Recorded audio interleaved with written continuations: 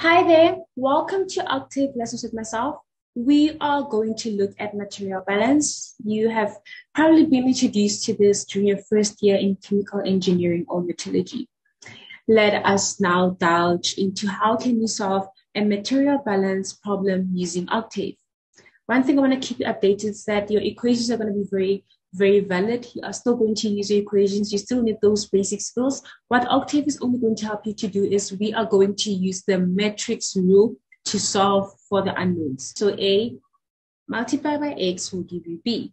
We are told that a chemical separation system is used to separate benzene, styrene, toluene, and xylene with an array of distillation color shown in this figure below. Experimental data shows the feed rate of the streams, A, given as 100 mole per hour, and the composition of A being 15% benzene, 20% styrene, 30% toluene, and 35% xylene. We are given the compositions of D, and we are told the remainder will go to E. We are also given the composition of F, and we are told the remainder will go to G. So basically what we don't know, it's the overall flow rates for B, D, E, F, C, G, and the compositions of B and C. To start this, I went to my Octave and wrote everything nicely for myself in order to understand what I am working with. You can see that I represented very well A equated to D, E, F, and G. I wrote down my equations nicely for myself, the benzene balance, styrene balance, toluene balance, and xylene balance. Next, what I did is I am going to use the matrix law to solve for these unknowns here. Notice that the unknowns here are the majors, which is D, E, F, and G. Let us let H be the first part of our matrix and I represented it very nicely here, row, column, row, column. Next up, I will equate K to what is known, which is 15, 20, 30, and 35. Notice this here, it's the compositions of A multiplied by 100 to get the actuals of each component in A.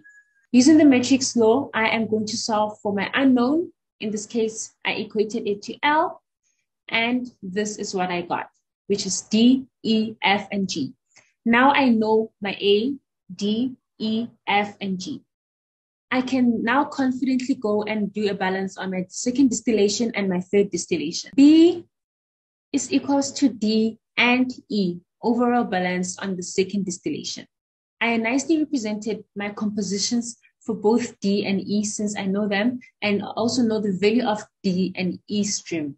The only unknown here on this second distillation is the compositions of B. So let's solve it.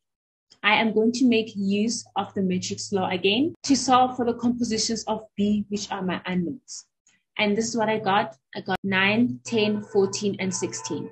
This simply means we have 0.4124 moles of benzene in B, 0.4343 of moles of styrene in B, 0.6094 of moles in toluene, of toluene moles in B, and we also have xylene at 0.6970 moles of xylene at B.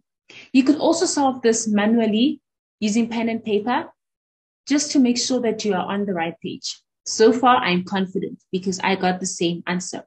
Do the same formula for the third distillation column to solve for the C compositions, and you will find your unknowns. And then you have to find the actual compositions of the unknowns in your C. I used my manual method again, and I found the same answer. I really hope this helps. Don't forget to pause this video, attempt it yourself, and use my attempt to correct yourself.